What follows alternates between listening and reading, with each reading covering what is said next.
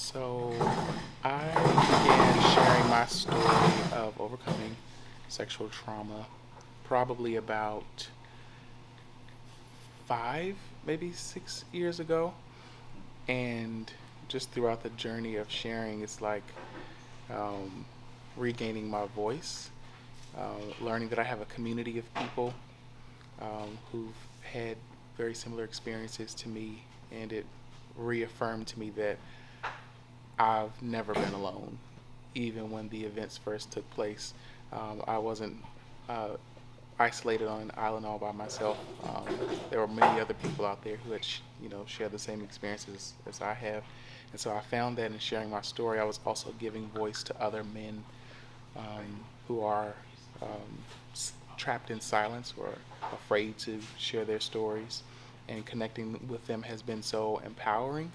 Um, and the more that I share, I also find the more that I heal, the more that I learn to put vocabulary to my experience, um, the more it humanizes my experiences. Um, and I continue to share because of the lives that I'm able to to reach, to inspire, to empower, to help other men on their journey to wholeness, even if it it's not an get them from A to Z thing. Some people just need help getting from A to B.